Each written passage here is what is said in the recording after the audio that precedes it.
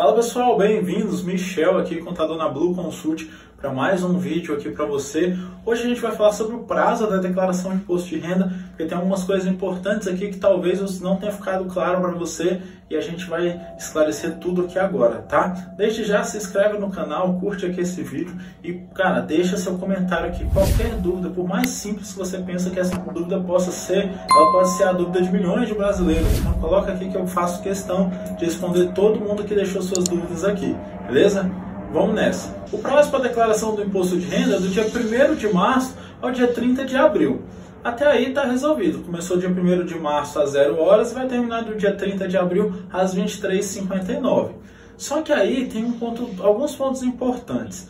Se eu fiz a minha declaração nesse período e preciso retificar eu posso retificar? Sim, você pode. Você, ah, eu, eu vou retificar em dezembro, porque lá em dezembro eu lembrei que faltou alguma coisa, ou eu caí na malha, a Receita mandou eu colocar mais uma coisa, ou seja lá qual for o motivo. Você pode retificar, você não tem problema nenhum, você não vai pagar multa, não vai pagar nada, tá?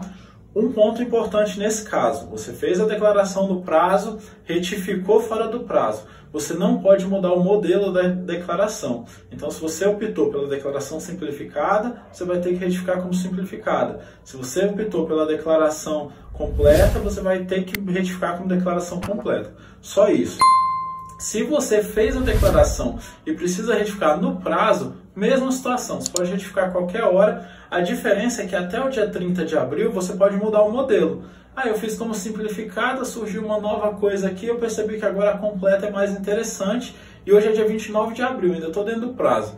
Pode retificar, pode mudar o modelo da declaração, não tem multa, não tem problema, não tem malha fina, não tem nada. Agora, se você perder esse prazo, que é o problema você perder esse prazo, seja por 10 minutos. Se você for lá meia-noite 10 do dia 30 de abril, que na verdade já é dia 1 de maio, né? Dia 1 de maio às 0 horas e 10 minutos. Se você for lá enviar o, ao seu imposto de renda, você vai ter que pagar uma multa de 165 reais mais alguns centavos.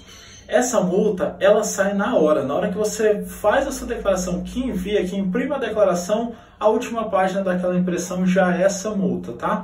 Essa multa, ela pode ir até 300% do imposto devido em alguns casos, principalmente quando é questão de fraude e outros momentos. O normal é a multa de 165 reais, tá? Então, o que é importante aqui? Não perder esse prazo. Ah, eu não estou com todas as minhas informações prontas no dia 30 de abril.